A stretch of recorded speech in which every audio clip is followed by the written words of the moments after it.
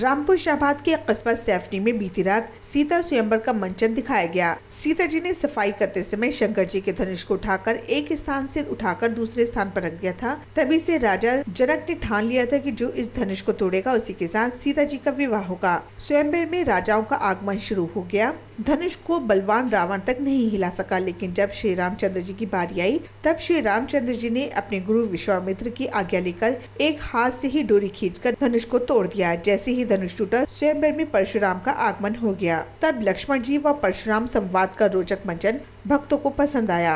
रामलीला देखने को श्रद्धालु आधी रात तक जमे रहे। भगवान श्री रामचंद्र जी की आरती में सभी कमेटी सदस्य, पुलिस स्टाफ, पत्रकार, क्षेत्रवासी शामिल हुए। मेला प्रबंधक सत्यनारायण, राम सेवक रामाधार, सुशील जोशी, सुधाकर शर्मा, लोकेश राम बाबू जोशी आदि ने भगवान श्री राम लक्ष्मण का तिलक किया एवं प्रसाद का भोग कराया। अरे धीरे चलो सुकुमार। अरे सुकुमार पिया प्यारी बलिहार हार यारी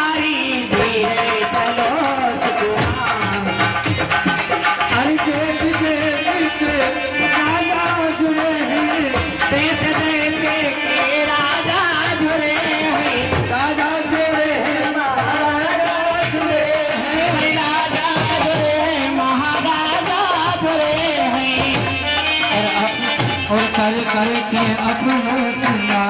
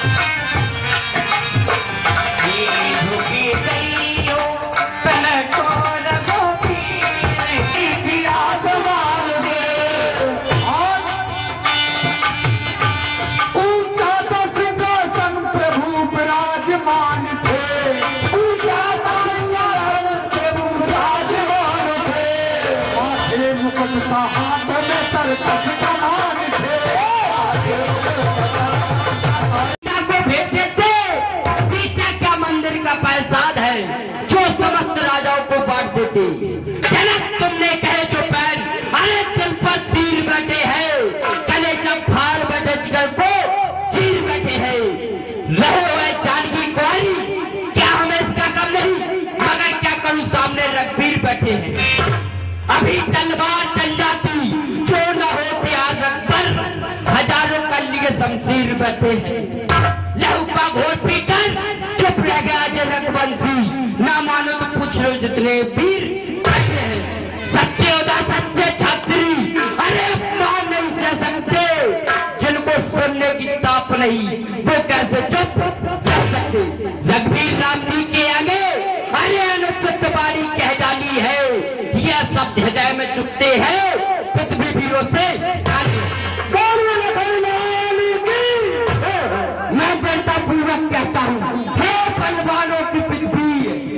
जिस रोज बलवान नहीं होंगे। उस रोज लागी पृथ्वी मेरा स्वभाव तो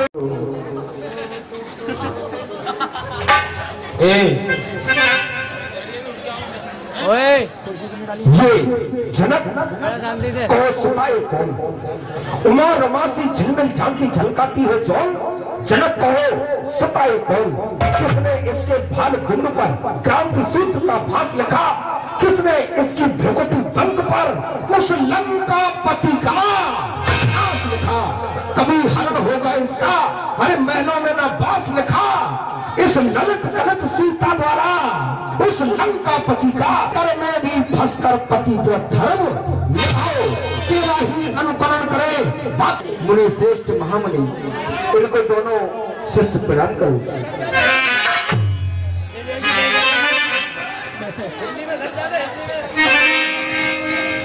राम हिज दई रहे फतले कन लोग अपार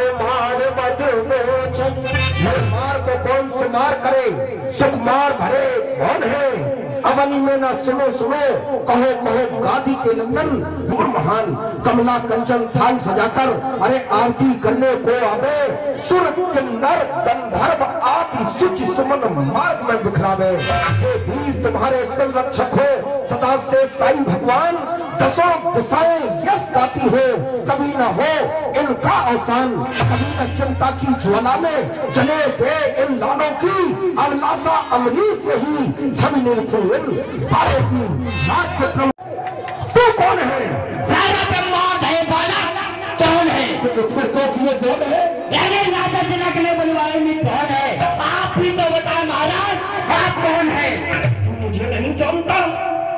तू मुझे नहीं जानता मैं छत्रियों का काल हूँ। तो मैं महाकालों का काल हूँ।